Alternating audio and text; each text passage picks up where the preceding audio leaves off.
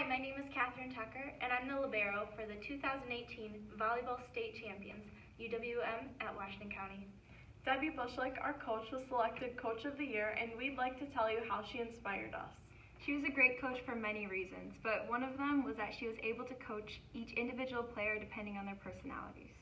She also gave us equal opportunities, and when those when those opportunities were presented during games, she expected us to perform.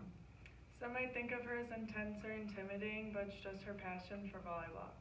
She wasn't afraid to fight for us on the court, especially when it came to having a little chat with the refs. she has high expectations, and she really pushes us to our full potential. I know that some of the girls and I lost our passion after high school, but because of her, we gained our love for the sport again. During a group huddle after one match, um, she would say that she would say the right thing and get us fired up for the next one.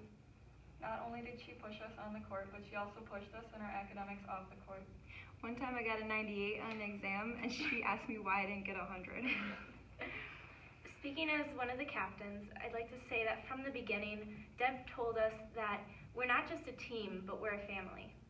We'd like to thank our wonderful coach and our second mom, Debbie Butschlick, for such a wonderful season.